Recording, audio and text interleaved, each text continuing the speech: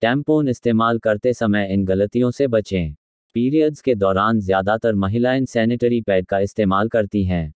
लेकिन आजकल पीरियड्स से निपटने के लिए टैम्पोन और मेंस्ट्रुअल कप जैसे कई ऑप्शन मौजूद हैं। पीरियड्स के दौरान टैम्पोन का इस्तेमाल बढ़ता जा रहा है। यह सैनिटरी नैपकिन की तरह ही काम करता है, लेकिन इसे पैड की तरह अंडरवियर के ऊपर नहीं, बल्कि वेजाइना के अंदर डाला जाता है। जिन महिलाओं को पीरियड्स के दौरान हैवी फ्लो होता है उनके लिए टैम्पोन एक बेहतर ऑप्शन है। लेकिन कई बार महिलाएँ टैम्पोन इस्तेमाल करते समय कुछ गलतियाँ करती हैं जिससे उनकी वेजाइनल हेल्थ पर बुरा प्रभाव पड़ता है। आज के इस वीडियो में हम आपको बताएँगे कि टैम्पोन इस्तेमाल करते समय किन गलतियों को करने से बचना चाहिए। इसके साथ ही हम आपको टैम्पोन इस्तेमाल करने का सही तरीका भी बताएँगे। टैम्पोन इस्तेमाल करते समय ना करें यह गलतियाँ। अक्सर महिलाएँ पूरे पीरियड्स के दौरान एक ही साइज़ का टैम्पोन इस्तेमाल करती हैं। लेकिन यह पीरियड्स के दौरान की जाने वाली एक बड़ी गलती है। बाज़ार में टैम्पोन अलग अलग साइज़ और सोखने की क्षमता के साथ आते हैं।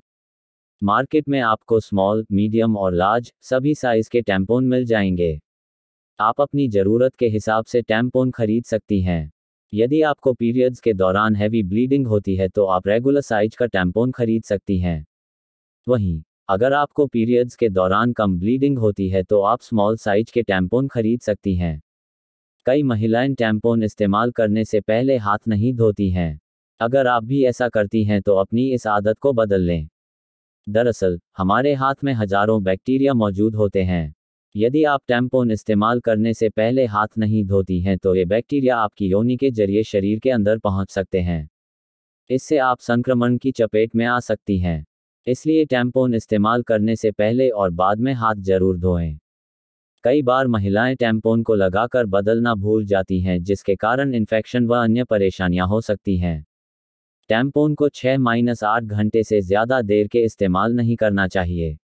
ज़्यादा देर तक टैम्पोन ना बदलने से वेजाइना में खुजली और जलन हो सकती है। कुछ महिलाएँ टैम्पोन को योनि के अंदर सही तरह से नहीं लगाती हैं। अगर टैम्पोन को सही तरीके से इस्तेमाल ना किया जाए तो इससे आपको परेशानी हो सकती है।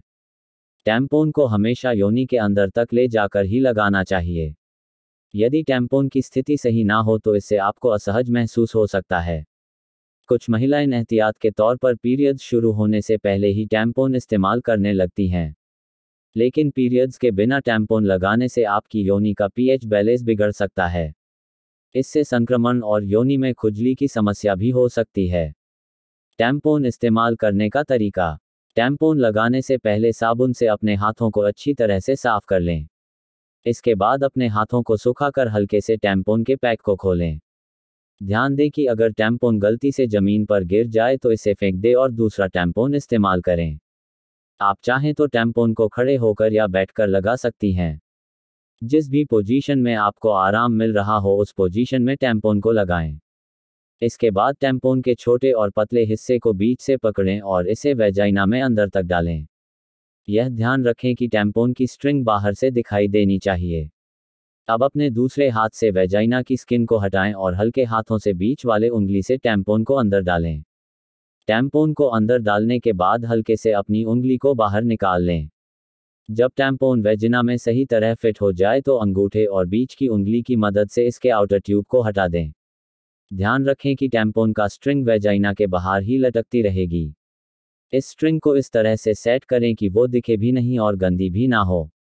टैम्पोन को बाहर निकालने के लिए टैम्पोन की स्ट्रिंग को हल्के हाथों से पकड़कर नीचे की ओर खींचें।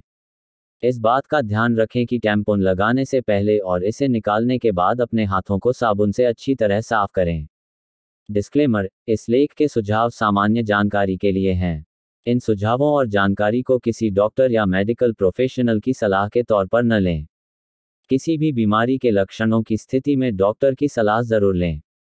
हमारा यह वीडियो पसंद आया हो तो अभी हमारी वीडियो लाइक करें, शेयर करें और हमारा Hashmi dot com channel subscribe करें। धन्यवाद।